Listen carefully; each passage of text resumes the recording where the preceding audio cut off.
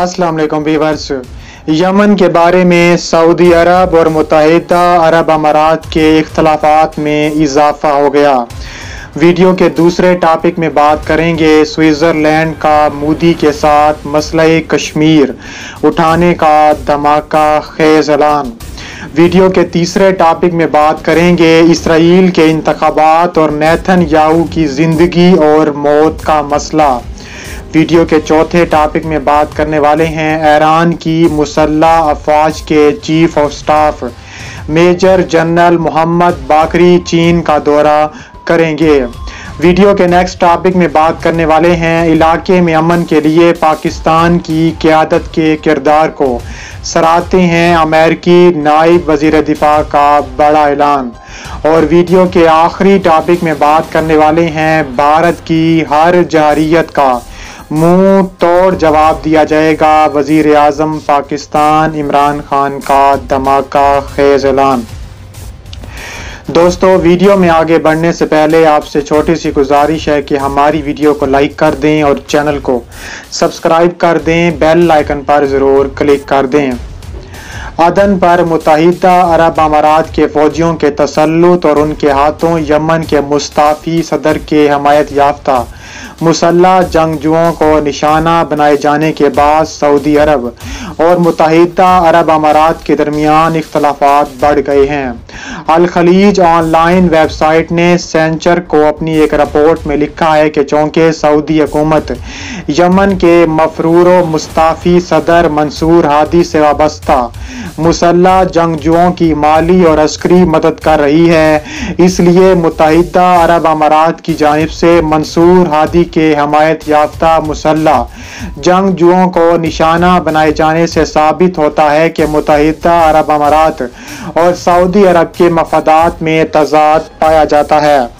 عدن میں متحدہ عرب امارات کی جانب سے علیحدگی پسندوں کی حمایت کے بعد سعودی عرب نے اپنے پہلے سرکاری بیان میں بالواسطہ طور پر جنوبی عبوری کونسل کے فوجیوں کی حمایت کیے جانے کو ہدف تنقید بنایا اور عدن میں حکومت کے سول اور فوجی دفاتر اور چھاونیوں کو منصور حادی سے وابستہ فوجیوں کے حوالے کرنے کا مطالبہ کیا ہے۔ عدن میں متحدہ عرب امارات سے وابستہ جنوبی عبوری کونسل اور منصور ہادی کے مسلح جنگجوؤں کے درمیان یکم اگست سے جھڑپیں شروع ہوئی ہیں۔ متحدہ عرب امارات اور سعودی عرب نے مارچ دو ہزار پندرہ میں یمن پر حملے کے بعد یمن کے ایک ایک حصے پر قبضہ کر رکھا ہے۔ وہ اپنے مقامی اور غیر ملکی ایجنٹوں اور کرائے کے فوجیوں کو یمنی فوج اور عوام کے خلاف جاریتوں اور حملے کے لیے استعمال کرتے ہیں۔ اب ہم ویڈیو کے دوسرے ٹاپک میں بات کرنے والے ہیں۔ مقبوضہ کشمیر کی خصوصی حیثیت ختم کیے جانے کے بعد عالمی سطح پر۔ بھارت کی رسوائی کا سلسلہ جاری ہے۔ سوئٹزرلینڈ کے محکمہ خارجہ کے مطابق۔ بھارتی صدر سے ملاقات میں مقبوضہ وادی کی صورتحال ایجنڈے میں شامل ہوگی۔ آرٹیکل 370 کے خاتمے کے بعد سوئس حکام نے اپنے شہریوں کو مقبوضہ کشمیر کے سفر سے منع کیا تھا اور وہاں کی صورتحال پر تشویش کا اظہار کیا تھا۔ اب ہم ویڈیو کے نیکسٹ ٹاپک میں بات کرنے والے ہیں۔ نیتھن یاہو انتخابات کے چکر میں ہیں سہونی رہنماؤں کی یہ عادت ہے کہ مقبوضہ فلسطین میں اپنے انتخابات کو علاقے کے مسلمانوں کے خون سے رنگین کرتے ہیں، لیکن اس دفعہ اسرائیل کے انتخابات خود اسرائیلیوں کے خون سے رنگین ہوں گے۔ نیتھن یاہو آئندہ ماہ ہونے والے انتخابات سے ڈر رہے ہیں، ان کی سرنوشت میں۔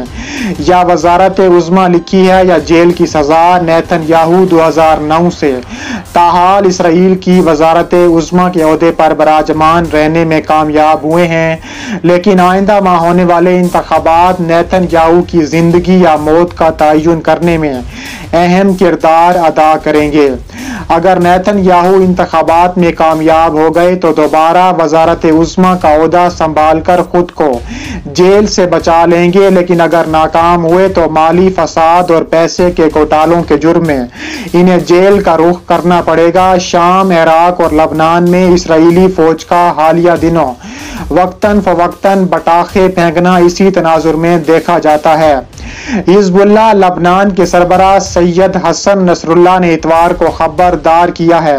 اگر نیتن یاہو ان کی سرزمین کی طرف آنکھ اٹھا کر دیکھیں دے کہ اسرائیل کے انتخاباتی میدان کو جنگی میدان میں بدل کر دیں گے۔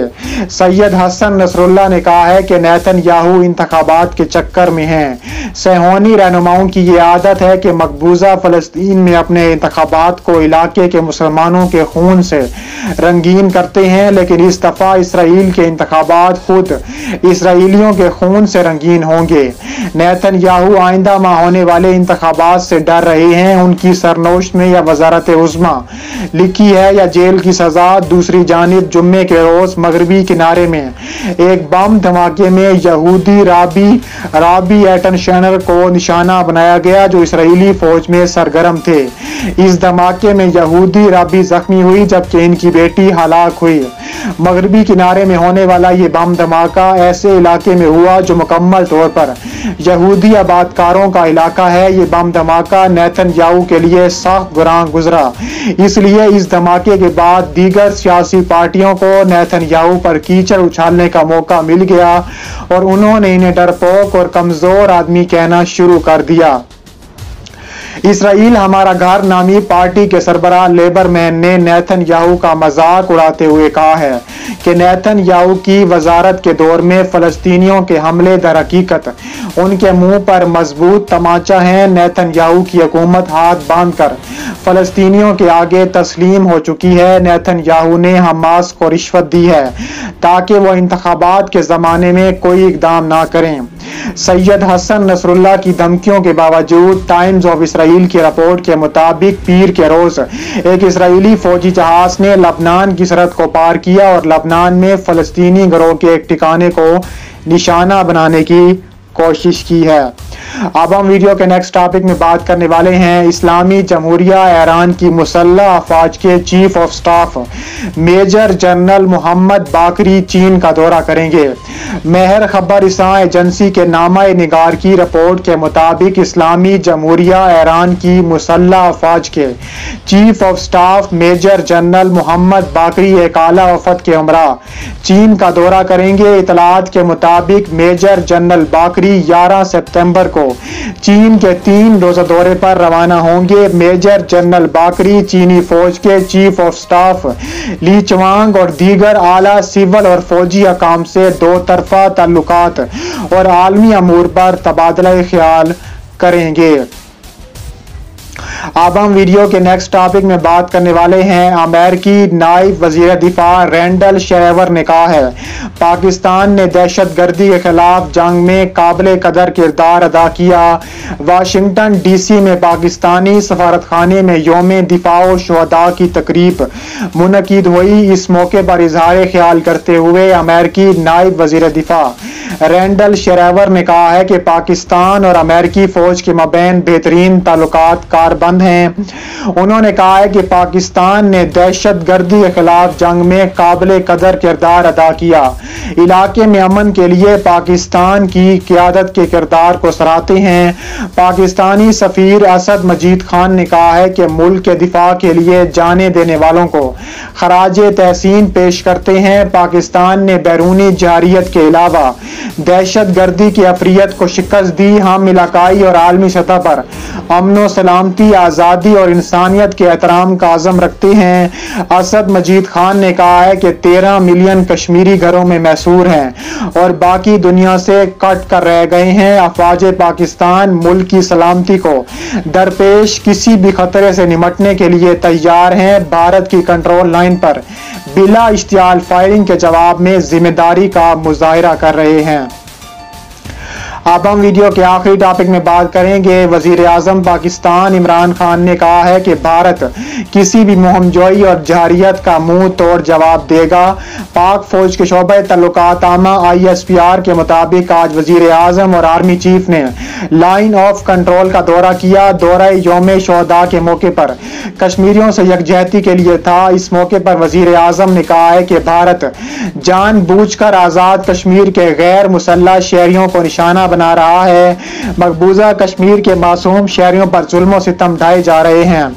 انسانی حقوق کی سنگین خلاف ورزیاں جاری ہیں۔ وزیر اعظم کا کہنا تھا کہ پاکستان کشمیریوں کے حق کے خودداریت پر ان کے ساتھ کھڑا ہے۔ ہماری کوششیں بھارت کا صفاق چہرہ سامنے لانے کے لیے ہیں۔ مسلح افواج ہر خطرے کا جواب دینے کے لیے تیار ہے۔ بھارت کی ہر مہم جوئی کا جواب دیا جائے گا اس موقع پر۔ وفاقی وزراء شاہ محمود قریشی، پرویز کھٹک اور چیئرمین کشمیر کمیٹی۔ فخر امام وزیر اعظم کی ہمراہ تھے آئی ایس پی آر کے مطابق وزیر اعظم کو۔ ایل او سی کی تازہ صورتحال سے آگاہ کیا گیا۔ اس موقع پر انہوں نے بھارتی گولہ باری سے متاثرہ مقامی شہریوں سے بات کی۔ وزیر اعظم نے شہداء کے اہل خانہ، زخمیوں سے بات چیت میں ان کی حوصلہ افزائی کی۔ ساتھ ہی ایل او سی پر تعینات جوانوں، افسروں کے بلند حوصلے اور عزم کو سراہا گیا ہے۔